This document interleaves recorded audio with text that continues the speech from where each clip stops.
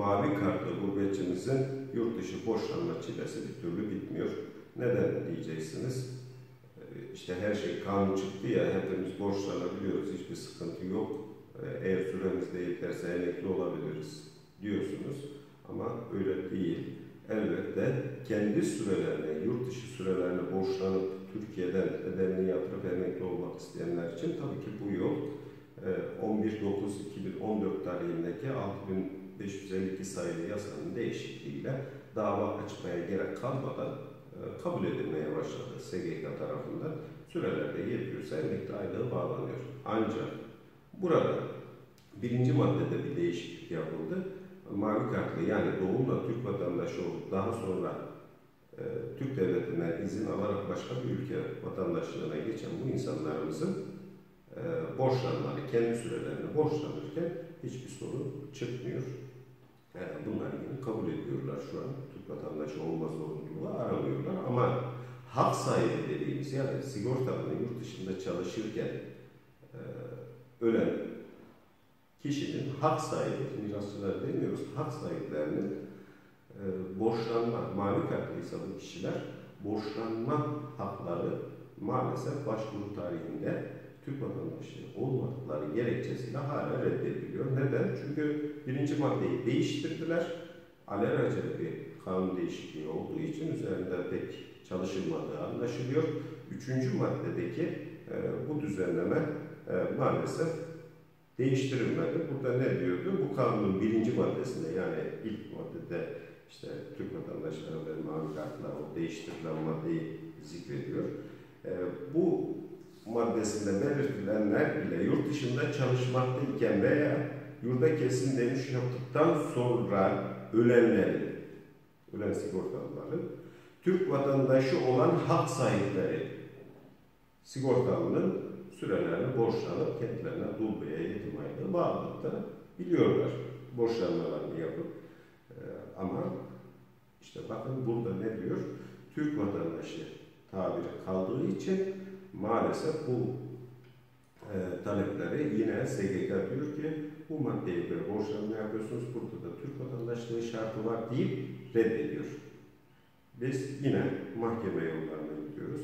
Maalesef tek bir yolda mahkemede dava açmaktır. Bununla ilgili e, bizde de çok kararlar var, çok davalar açtık. Bu şekilde kazanılabiliyor. Ama gönül ister ki kanunu düzenleme yapıldığında hiç davaya gerek kalmadan, avukatlar da bu işten uğraşmadan, vatandaşla masraf etmeden bu hakkın verilmesidir. E, lakin şu ana kadar hiç kimse e, bu konuyu gündeme getirip bu e, dul ve yetimlerin borçlanma hakları konusunda bir düzenleme yapılacağı veya herhangi bir şey yapılacağı konusunda hiçbir e, ifade kullanılmadı bugüne kadar. Bu vatandaşlarımız e, çünkü avantajlı. E, ben gene de onu öneriyorum. Yani dava yoluyla da olsa şu an e, dul ve yetimlerin e, yetimler maaş alıp göre bakılması gerekiyor. Özellikle emekli sandığındansa yurt dışında çalışsalar da yardım alsalar da yetimler maaş alabiliyorlar ama öbürleri için, mahkum ve SSK yetimler için söz konusu değil. Ama dullar için, dul olan eşler için erkek olsun, kadın olsun fark etmez. Mutlaka mavi kartlıyken e, eğer reddedilmişse bu yolu girmelerini e, isterim, tavsiye ederim. Neden diyeceksiniz? Çünkü e, 1800 gün yeterli. E, ölüm tarihine göre bağlılıktan olduğu zaman 1080 güne kadar eğer sigorta girişi varsa e, ölen kişinin e, 900 güne bile tamamlamaya 2008'den önce vefat etmişse 900 güne bile tamamlayarak e, dul maaşı hem de yurt dışında çalışırken ve e, ya e, sosyal yardım alırken dul maaşı alma imkanı olduğu için e, biraz e, dava süreçleri biraz daha uzadı. Bölge e, adliye mahkemelerinin devreye girmesiyle ama e, tavsiye ederim bu yola başvurmalarını. E, kendileri e, avantajlı bir şekilde kendi yurt dışı sürelerini borçlanmalarının daha avantajlı. Ha, burada akla gelir şu olabilir. E, ya ben Türk vatandaşıyım ölen mavi kartlıydı. O kişi örnek veriyorum Hollanda vatandaşıydı. Bu durumda ne olacak? Hayır, hiçbir sıkıntı yok. Ölenin e, kanununda bakın, başvuranın hak sahibinin Türk vatandaşı hak sahibi diyor. Yani ölenin vatandaşlığı önemli değil. Sadece ölenin e, Türk vatandaşlığında geçen süresinin olması gerekiyor. Orada sadece onu arıyoruz. Ama şeyi aramıyoruz.